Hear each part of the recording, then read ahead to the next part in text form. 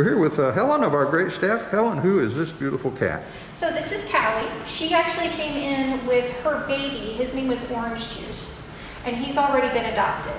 Um, but Callie is spayed now. She's really sweet. She loves attention. She just likes being near people. She'll follow you around if you're in the cattery to see if she'll you'll lean down and pet her. She's a really beautiful desaturated gray and tan color, and she's got these big bright green eyes. So she likes crunchy treats a lot. She'll follow you for those. Oh, look at that. She gives you head rubs. She sure does. Oh, she just loves to be petted. She's really soft. She's super cute. She makes these little chirping noises. Oh, all right. And she gets along super well with other cats.